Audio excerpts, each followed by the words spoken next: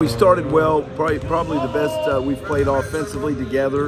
Um, you know, we, we executed everything, got got good shots for the, for the majority of the game. Played well together offensively, had a low number of turnovers. Um, you know, we just got to we, we've got to rebound. We, have got to rebound. We're giving opponents too many extra opportunities.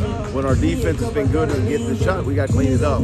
Uh, part of it's some depth issues. Um, you know, part of it, uh, give credit to other teams. Uh, but uh, in order for our team to grow, we got to continue. I think anytime you can go win on the road, uh, I, I, think that helps the team grow. Uh, and we've been on the road majority of the year, so um, going and finding ways to find resolve to win on the road, I think that just makes your team get better. Uh, and, it gives you a mentality that no matter where you're playing at, you have a chance to win. And, and, and right now, uh, I, have seen growth and maturity in our team. Uh, you know, guys are starting to be more accountable to one another.